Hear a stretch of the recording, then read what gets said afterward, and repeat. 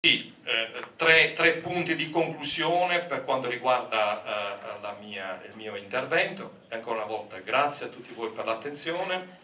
Avremo modo anche nella giornata di parlarne, eh, di, di, di, discuterne, ecco, magari non da, da, un podio ma a, a viva voce. Quindi non rubo altro tempo, grazie e vado subito a presentare il prossimo speaker che è il professor Fava lui un deus ex machina de, de, della bioeconomia eh, a livello europeo e, e quindi ci accompagna, eh, essendo il delegato poi del MIUR, eh, il comitato di programma, quindi dell'Orizzonte 2020, un po' in tutti i nostri eh, lavori, ma devo dire che è sempre con spirito collaborativo che lo fa, mi permetto di dirlo. Grazie Fabio. Grazie molte, grazie. E buongiorno a tutti voi. Grazie per l'introduzione molto, molto affettuosa e grazie per il graditissimo invito ad essere qui quest'oggi e grazie senza nessun motivo di captazio benevolenza per aver pensato a questo convegno che ritengo, ne sono certo, contribuirà moltissimo alla, alla crescita della bioeconomia nel mezzogiorno e secondo me non solo. C'è bisogno molto di questi momenti.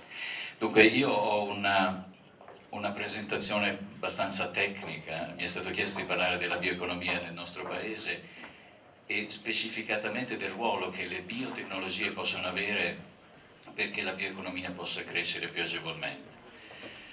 Intanto, come il dottor Di Giulio ha già introdotto, la bioeconomia è, è qualcosa di complesso, è un insieme di tanti settori che ben conosciamo, sono tradizionali, ma è bene rifocalizzarli, l'agricoltura, l'allevamento, l'acquacoltura, la pesca, l'industria alimentare che processa le biomasse che derivano da queste produzioni primarie che ho menzionato.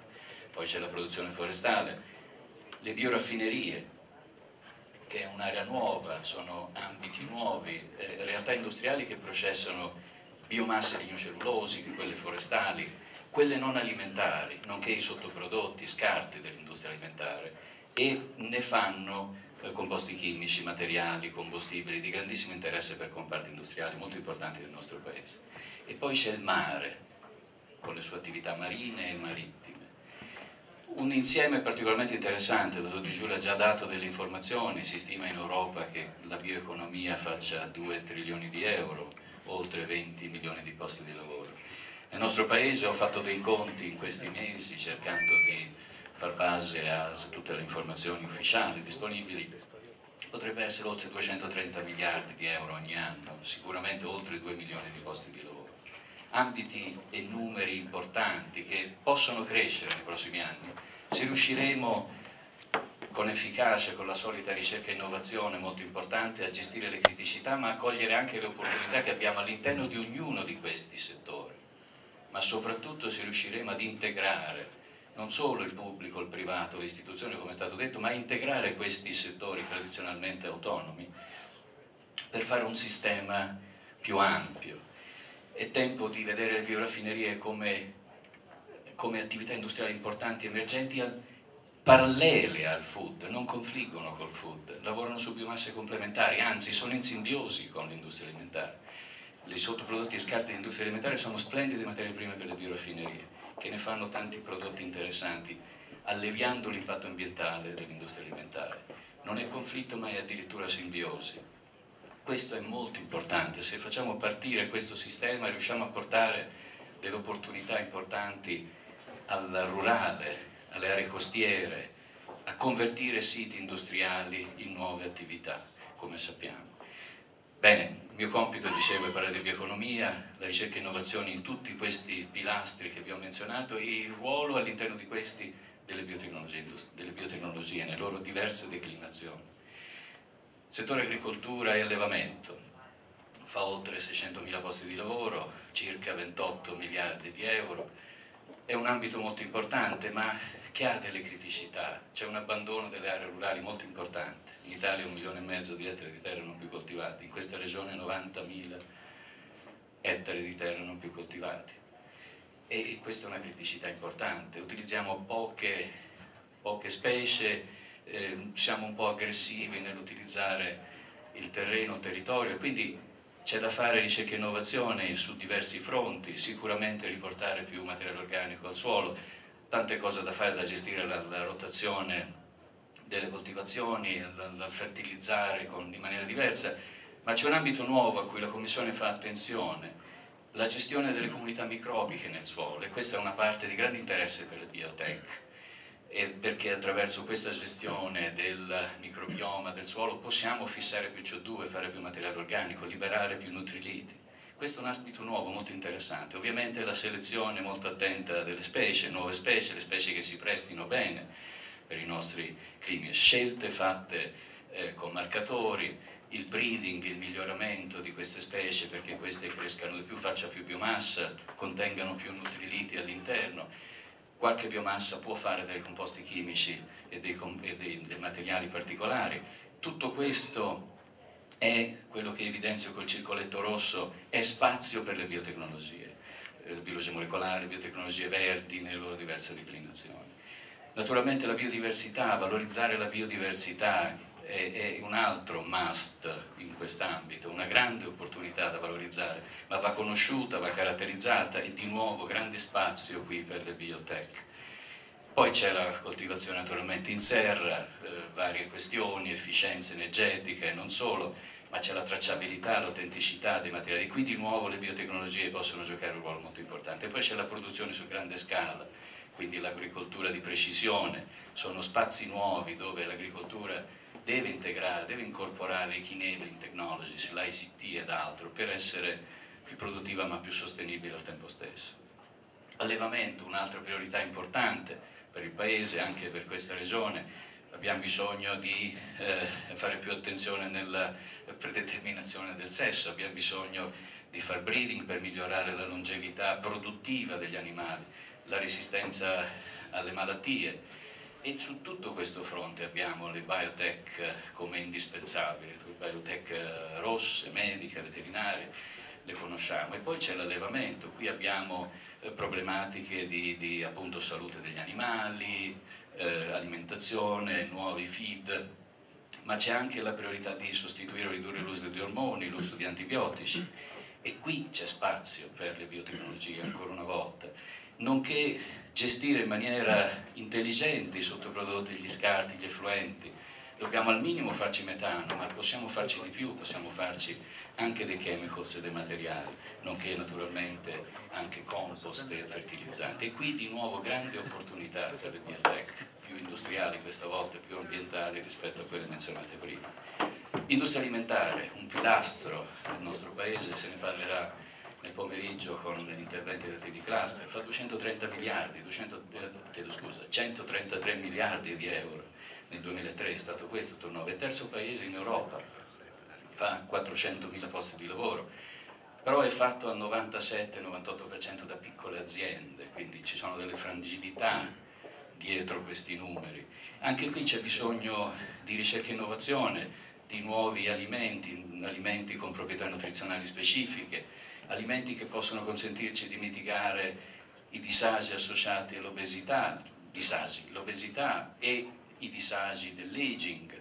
E qui c'è molto spazio alle biotecnologie di nuovo, microorganismi, enzimi, i probiotici, prebiotici che favoriscono la crescita dei giusti microorganismi, il microbioma intestinale, la gestione di questo, ma soprattutto l'impatto degli alimenti. C'è tantissimo qua di spazio per le biotecnologie. Poi naturalmente abbiamo bisogno di cibi DOP, IGP, eh, prodotti di questo tipo. Abbiamo bisogno soprattutto di difendere i nostri prodotti, eh, difendere la contraffazione, i nostri prodotti dalla contraffazione e limitazione, quindi anche qui bioanalizzatori, sistemi e qui di nuovo le biotech hanno un ruolo molto importante. Non ultimo, la sostenibilità, uno dei grandi problemi dell'industria alimentare in tutta Europa ma anche nel nostro paese è che ad alto impatto ambientale, tra virgolette, consentitemi, consuma troppa acqua, troppa energia, troppi rifiuti, produce troppi rifiuti eh, migliorati, quindi c'è bisogno corso, quindi aumentare l'efficienza di trasformazione, ridurre appunto il consumo di queste materie prime, ridurre la produzione di waste, eh, di, eh, di sottoprodotti e valorizzarli anche, fare di questi materie prime per esempio per la produzione di composti chimici, ma anche ingredienti se si parte da byproducts, da sottoprodotti, ingredienti alimentari che tornano alla filiera, ma comunque composti chimici, materiali ed energia. C'è molto da fare su questo fronte qui dentro, come vedete, ricorre spesso enzimi, microorganismi, processi, biotech. Non ultimo i biomateriali con cui possiamo arrivare a un packaging più sostenibile, quindi grandi opportunità per le biotech industriali anche in quest'ambito. Altro settore importante le foreste, vi interessa moltissimo, siete la sesta regione in Italia come produzione forestale, come vedete il settore è molto importante per il Paese, fa 600.000 posti di lavoro, fa 28 miliardi di euro, ma se andate a vedere il grosso di questi numeri è legato alla lavorazione del legno, che è una lavorazione però tradizionale, non solo, ma il grosso del legno processato viene da via, non è nostro. Noi abbiamo 10,5, se non vado errato, cerco di studiare attentamente, 10,5 eh, milioni di ettari di foreste nel nostro paese, ma utilizziamo una piccola parte del legno prodotto, il resto viene importato dall'esterno e questo è qualcosa a cui dobbiamo porre, porre rimedio. Anche qui c'è bisogno di ricerca e innovazione, eh, c'è da far sì che insomma, i boschi si adattino bene ai cambiamenti climatici, che consumino CO2 il più possibile, di cui abbiamo bisogno, c'è da conservare la biodiversità, eh, proteggere dalle specie eh, infestanti e qui c'è biotech di nuovo, molto spazio per le biotecnologie. Poi naturalmente c'è molto da raccogliere come, come informazioni, elaborare dei sistemi che possano consentirsi di gestire il bosco. Poi c'è bosco artificiale, bosco coltivato, le cosiddette short rotation forestry, cioè quelle produzioni brevi che spesso si rinnovano anche più volte durante l'anno, su cui è importante l'aspetto genetico, l'aspetto di miglioramento della, della biomassa prodotta a fini industriali, per esempio nella produzione di biofuels poi abbiamo la, la, possibilità di impiegarli per decontaminare siti e di nuovo questa è una parte di biotech, quindi spazi importanti per quelli che sono, in questo caso certamente, biotecnologie verdi e nell'ultima parte ambientali. Poi c'è da lavorare per fare prodotti che valgono di più dal nostro legno, perché no anche per alimentare con questo le bioraffinerie. Bioraffinerie che sono una realtà nuova, nuova, recente se volete nel nostro paese, ma che stanno crescendo in maniera rapidissima, al punto che siamo certamente un buon punto di riferimento, anche secondo l'Ocse, in un contesto non solo europeo, che va oltre l'Europa. Sapete, sono delle raffinerie che processano biomasse non alimentari, nonché sottoprodotto scarti dell'agricoltura, ma anche e soprattutto dell'industria alimentare che ne fa in grossi volumi, 13 milioni di tonnellate almeno ogni anno nel nostro paese, per fare composti chimici, materiali e combustibili, come diceva il dottor Di Giulio, che poi vanno a dare innovazione, nuove opportunità, nuove competitività a settori dove siamo molto forti, che vedete elencati, quasi tutti appaiono, alla destra della slide. E qui siamo, ripeto, nelle prime fasi ma stiamo andando molto bene, su questo tornerà eh, la dottoressa Gregori nel pomeriggio, non sto a, entrare nei dettagli, ma l'Italia ha tanti insediamenti nuovi, altri meno, meno recenti, ma che danno all'Italia grandi possibilità. Anche qui però c'è bisogno di fare tanto, c'è sicuramente da trasferire quanto prima quello che abbiamo fatto nelle nostre università, nei centri di ricerca negli anni passati, convertire conoscenza in innovazione, cioè posti di lavoro, prodotti, servizi. C'è da fare sicuramente questo e questo, per far questo servono leggi, servono eh, policy, servono delle strategie che aiutino insomma, il percorso, nonché la comunicazione. La società deve sapere qual è il vantaggio di utilizzare un prodotto bio-based, intanto che cos'è e qual è il vantaggio di utilizzarlo rispetto al tradizionale. Ma c'è anche bisogno di ricerca e innovazione, questa è la parte che ci interessa di più, c'è da lavorare molto sui feedstocks, le materie prime, dobbiamo trovare altro, eh, di non alimentare ovviamente, dobbiamo cominciare a capire se la CO2 può essere una fonte davvero interessante di carbonio da infilare all'interno delle bioraffinerie, lo è, ma bisogna capire come farlo e farlo bene. I bio-waste, i rifiuti organici che abbiamo e stiamo accumulando nelle nostre città, peraltro ne stanno raccogliendo sempre di più, come possono entrare, c'è un problema di logistica nella raccolta, c'è un problema di pretrattamento di questo materiale e qui in questa zona di nuovo le biotech possono avere un ruolo molto importante. Poi c'è il processo, non è facile convertire sistemi così complessi come una biomassa idrolizzata in composti che ci interessano. Non è facile, bisogna integrare i percorsi perché si abbia la cosiddetta multipurpose biorefinery, cioè la raffineria a cascata che fa più prodotti, che è quella che è più sostenibile. Bisogna integrare il bio con il chimico, con sequenze che vanno studiate di volta in volta. C'è il downstream processing, cioè il recupero del composto che ci interessa nel mare magnum di composti che produciamo. E in tutto questo le biotech hanno di nuovo un ruolo importante di rilievo. Non dobbiamo dimenticare che molte industrie, anche italiane, stanno utilizzando nella loro produzione di monomeri per fare biopolimeri composti che sono stati, che vengono prodotti da ceppi di Escherichia coli geneticamente modificati attraverso approcci di systems biology di un certo livello, come gli alcoli superiori. C'è l'etanolo, ma si possono produrre su scala industriale anche altri alcoli, altri fuels superiori questo spesso lo si fa con microrganismi costruiti dalle biotecnologie industriali. Mare marittimo, l'ultima parte, è una realtà che in Italia fa circa 41 miliardi di euro ogni anno e che vede impegnati 800 mila persone.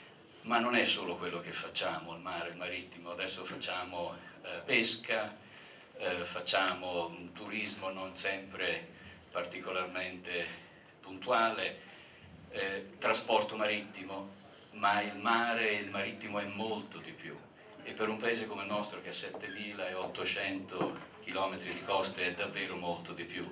È la produzione di energia per esempio, è ovviamente offshore, l'ottenimento di minerali, la produzione, l'ottenimento e estrazione di petrolio e olio in maniera però più sostenibile, è fare acquacoltura a mare, utilizzare le biomasse del mare, utilizzare i microorganismi del mare, gli enzimi del mare nei processi di bioraffineria ad esempio, ma per far questo occorre conoscere bene la biodiversità, capire come impattano queste strategie sulla stessa e tutto questo è spazio per le biotech.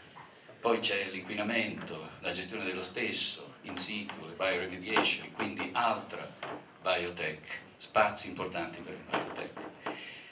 Insomma, tante opportunità sto per finire. Eh, tante opportunità che possono trovare spazio, opportunità di cofinanziamento in Horizon 2020 di cui si è parlato e vedete qui ho messo in una slide in rosso gli ambiti, le societal challenges nell'ambito delle quali sono disponibili dei finanziamenti per sostenere priorità come quelle che ho detto.